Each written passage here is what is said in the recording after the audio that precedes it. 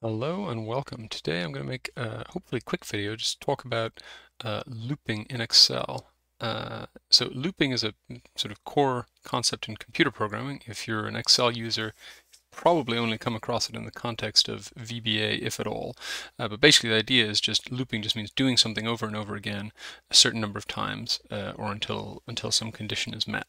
Uh, so I just started off with a, a kind of blank blank grid with the with all the grid lines filled in heavily because this is actually how as a you know first year computer science student I was introduced to uh, to some of the basic concepts of loops was with uh, a little like robot walking around a virtual world that had uh, you know a, 2D uh, array of cells just like an Excel grid.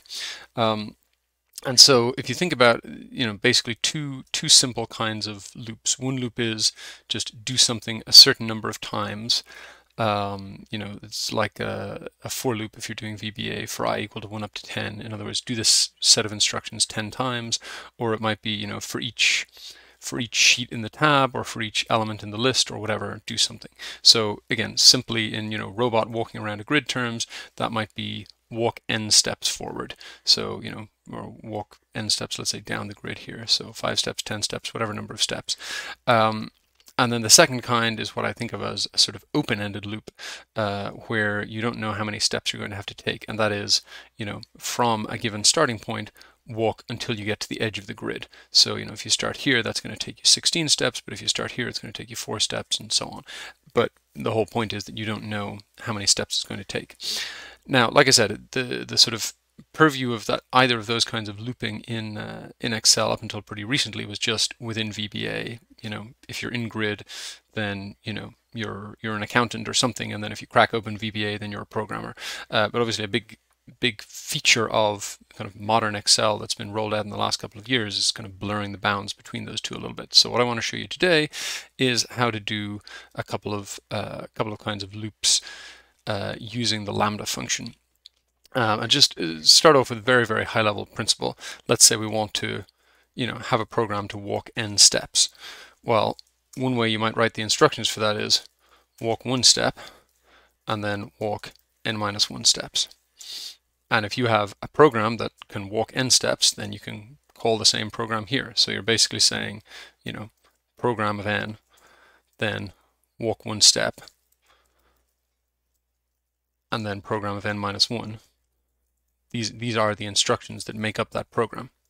Uh, and similarly, you know, walk to the wall would be, uh, you know, if I'm at the wall, stop, else step forward and walk to the wall. And you can, you know, basically turn that into a program as well. Um, I'm not going to kind of labor the pseudocode example anymore because I'm going to show you real examples in a second.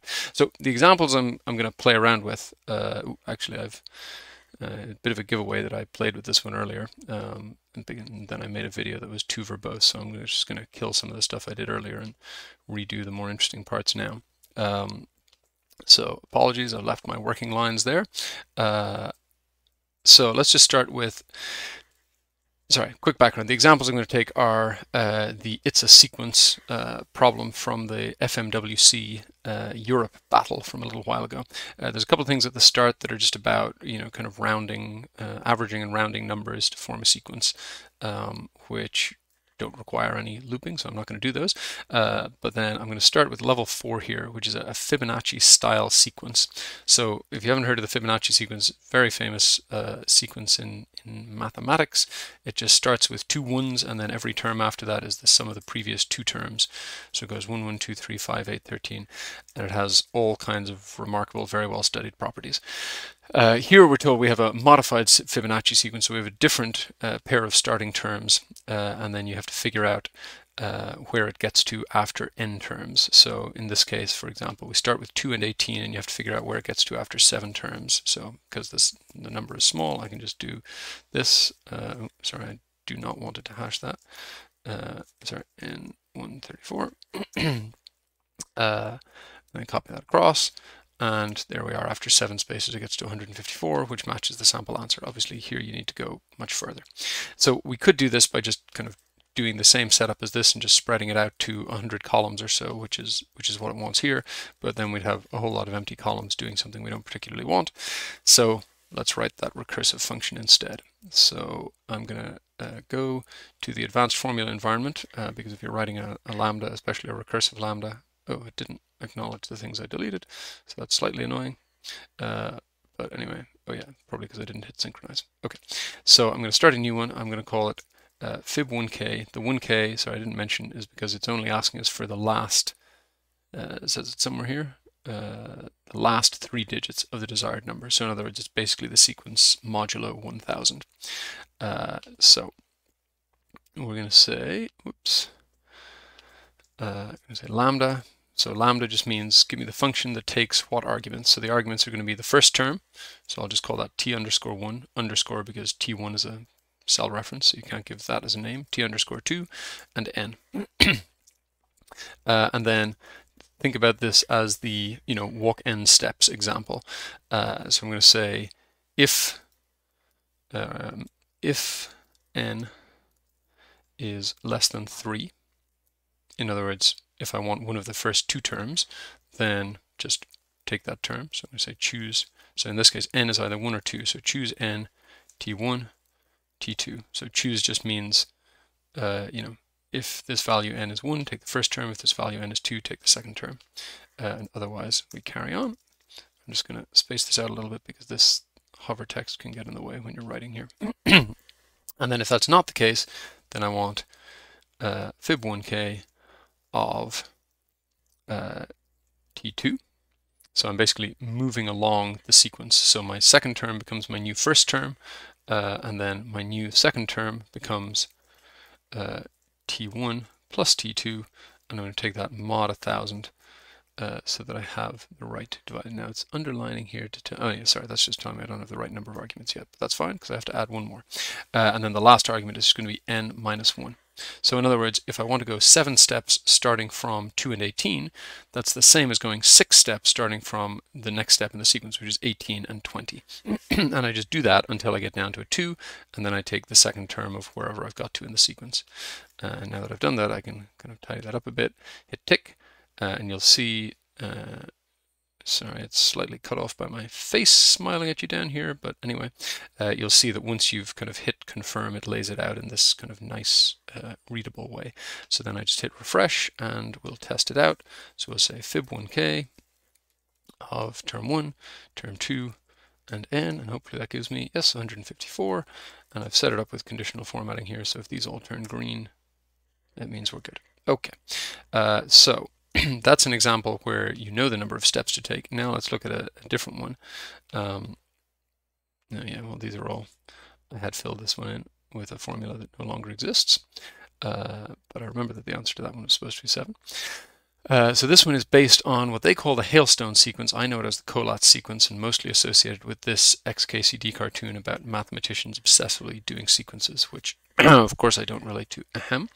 Um, the hailstone or Collatz sequence is a sequence where you start with a number and if it's odd, then you multiply it by 3 and add 1. If it's even, you divide by 2. Again, this is a kind of piece of famous mathematics. Uh, it is widely believed that the sequence always terminates in the cycle 421, 421, 421, uh, but it hasn't been, uh, hasn't been proved. It's an open question.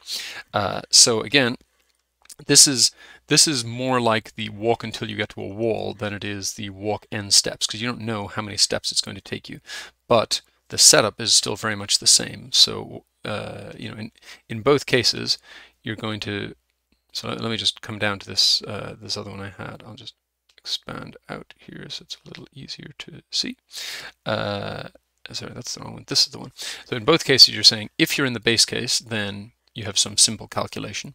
Uh, otherwise, you know, take a step forward and move on. So it's going to be a similar idea here. I'll just call this Collatz. uh, we'll expand it out. And that's going to be a function which takes uh, a starting number and optionally takes uh, a number of steps because I, basically I want the number of steps to kind of increase as I go along uh, until I get somewhere that I want to be. Then I'm going to say let, uh, I should think of a better name, but I'm just going to call it new n, uh, so I'm just going to deal with the case that n is an optional function. So if it's omitted, uh, if is omitted n, then uh, 1, otherwise n. Uh, and then for the rest of the function, I'm just going to refer to new n instead of n. Uh, so then we go on from there. I'm going to say if new n equals, sorry, no, if start equals 1. So in other words, if the number I'm starting from is 1, which is the equivalent of if I'm standing in front of a wall, i.e. I have already arrived at the destination, because what you want to find out is how many steps does it take to get to a 1. So if start equals 1, then I just return n. Uh, and otherwise, I, and again, I'm going to put in a few more spaces here so that hover text doesn't get in my way. Otherwise, I'm going to call the function again with, now my new start is going to be if uh, is odd, my previous start. If that's odd, then 3 times that number plus 1, otherwise start divided by 2. So that's my first argument, and my second argument is going to be the number of steps, and I just add 1 to that to reflect the fact that I took that step before. Now, why, oh, sorry, I'm missing a closing bracket there. That When you see that uh, sort of squiggly thing, it's telling you something is wrong with your syntax. In this case, it's that I forgot to close the bracket for the if, uh, and now I've got too many closing brackets because I put an extra closing bracket somewhere. Uh, and I'm just going to close all these up because they're messy. Uh, I think that should be it. So I'm going to hit tick. Uh, and again, so you see, once you tick it, it's kind of laid out very neatly here.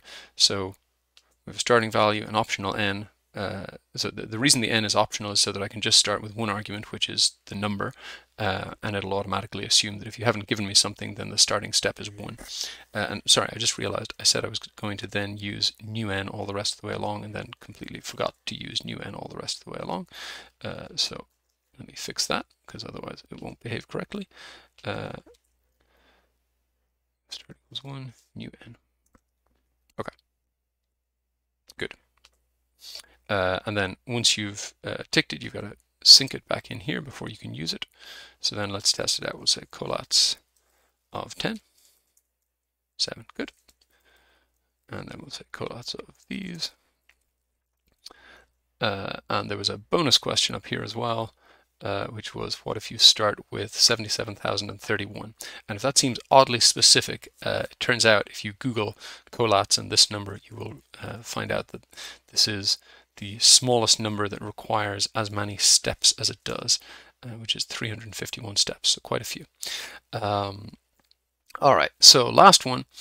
Uh, oh, and I've uh, left my broken unnamed function in there again, but uh, last one quickly.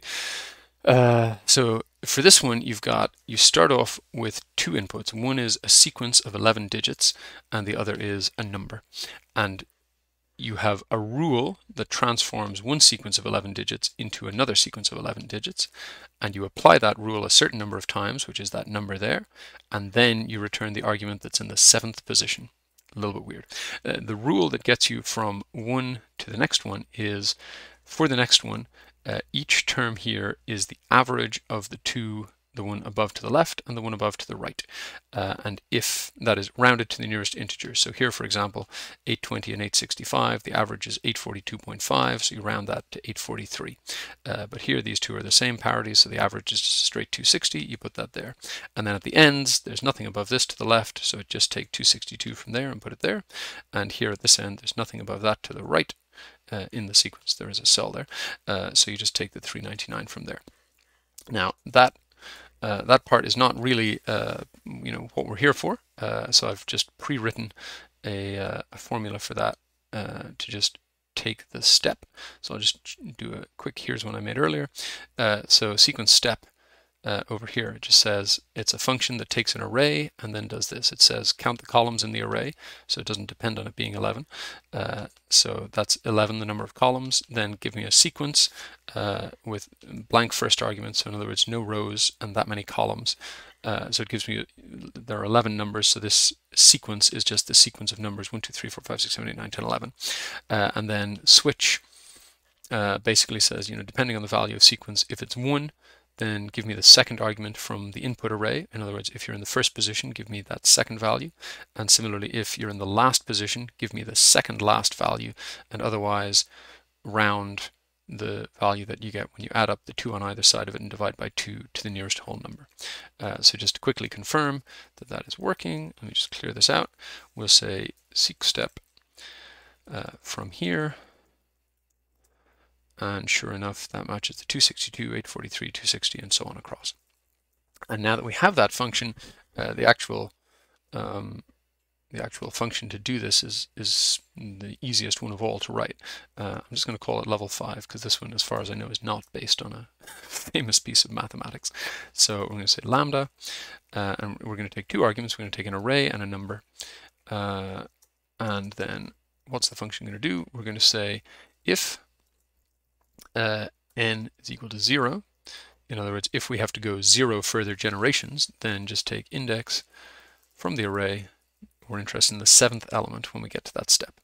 Otherwise, we need to uh, otherwise we need to step forward, and the way that we will do that is by calling level 5 of uh, uh, why is it giving me an underline now? Oh, sorry, right, it's giving me an underline because I level 5 requires two arguments and I haven't yet put those in. Fine, that's easy.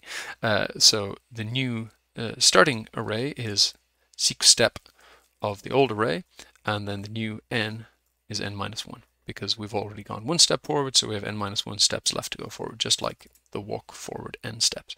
And that's it. That's the whole function. I'm going to sync that up, and then let's test it out uh, on this one here. I'll just close this so you can see the n as well. I'm going to say level 5 of this array, and this starting number gives me 3. And if I put it down there, 559, and carry down, and it all checks out. So that's uh, that's the basic idea. There is a ton more that you can do with lambdas, with recursive lambdas, mutually recursive functions, all kinds of things. But uh, you know, a little sort of sandbox problem like like one of these is a great way to get started. And if you compare this to, uh, you know, not to suggest that uh, not to suggest that anyone else was doing it a bad way. Uh, I did it the same. But if you compare this to the way that most people would approach this, you know, you you would have hundreds of helper columns sprawling across here, and that's what I did when I did it. Uh, and for level five, it wasn't even enough to have lots of helper columns. I had a whole separate sheet that you know spilled out one of these scenarios over you know 100 rows and 15 columns, and and then pulled it back together, and then did a data table. You know, the the elegance of being able to do it this way is uh, there's a lot to be said for it. Uh, there is, to be fair, a trade-off in terms of auditability. So you know, be careful with that. If your if your end user uh, doesn't know how to, you know, read a lambda function and understand what's going on, especially a recursive lambda function, it's a little more advanced. You gotta you gotta manage that trade-off. But uh, it's, it's, very very elegant and extremely reusable. Uh, you know, if this is a, a sort of business problem that you have in 15 different spreadsheets, you write that lambda, you know you vet it you vet it with whoever you know else you work with that needs to understand it and then you've got it and you can reuse it forever. Anyway i'm going to stop talking. Thanks for watching. I'll see you next time